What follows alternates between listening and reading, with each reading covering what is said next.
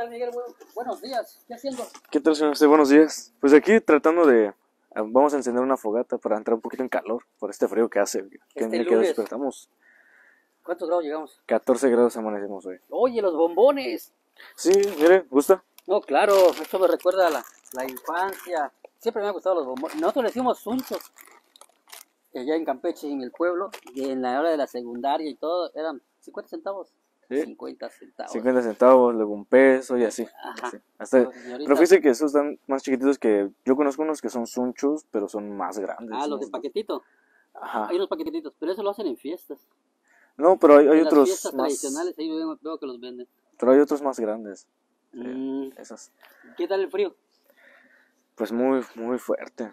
Pero si queremos hablar de fríos, vamos a hablar de movimiento auténtico social. El más.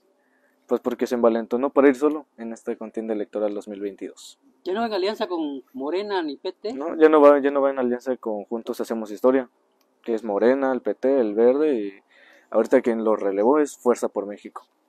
Fuerza por México obtuvo más votaciones que ese partido. Sí, tuvo más aceptación, entonces, pues seamos realistas, si, si vamos, si tenemos dos opciones y hay uno más fuerte que el otro, pues vamos a preferir el que tenga más, más, más fuerza, ¿no? El que tenga más aceptación por el pueblo. Órale. Entonces, esa fue la, ahorita por la razón, se podría decir que por las que más quedó fuera y va a ir solo. Aunque la presidenta honoraria, quien es Cecilia Cecilia Loría. Loría, afirma que no es ni por una disputa, ni siquiera por un pleito que surgió. No es el Pero- poder por el poder, Exacto, que no es el poder por el poder. pero seamos sinceros, Sí, el problema se dice que es el, fue el Distrito 1, el distrito 1 donde tienen a un presidente municipal. Orlando, Orlando. Sí, y creo que eso les dio la, la idea, ¿no? De que pues vamos vamos por el distrito 1, ahí podemos tenemos chance de ganar. Pero pues no, o Sí, sea, porque seguramente lo que platicamos recientemente en una, en una charla que teníamos, que cómo iban a influir los presidentes municipales en las elecciones. Y seguramente el Movimiento Auténtico Social, pensando que ahí tienen su presidente municipal, dirán, oye, espérame, si tenemos un presidente que nos pueda ayudar con la base para lograr una buena votación y obtener el Distrito 1. claro, de que se queden con ese completamente ya no sé, ya no se van a quedar con por el por la por la por los municipios, sino vayan a ir por todo el por todo el distrito.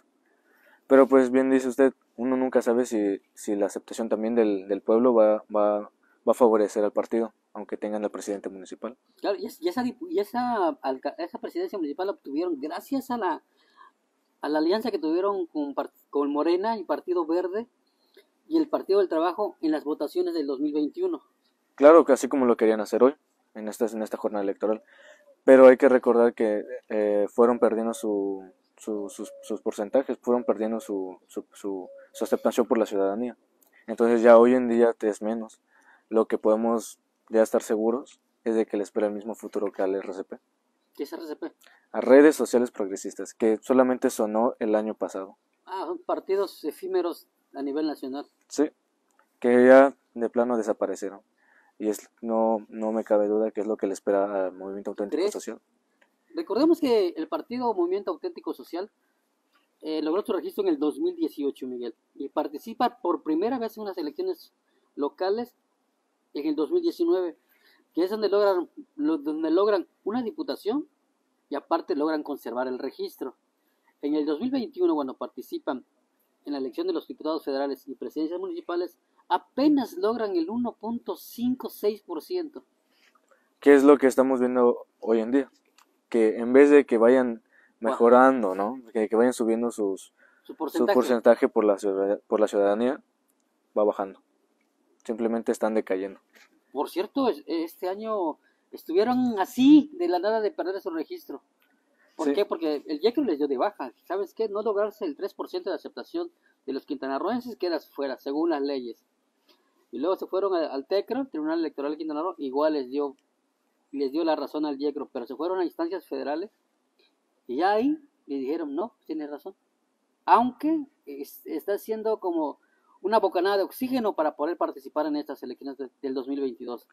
Yéndose solos, si las van a ver complicados. Sí, el ahorita que no tengan un respaldo, porque como, como, como repetimos hace, hace, hace un momento, su, su porcentaje de aceptación está siendo casi nulo.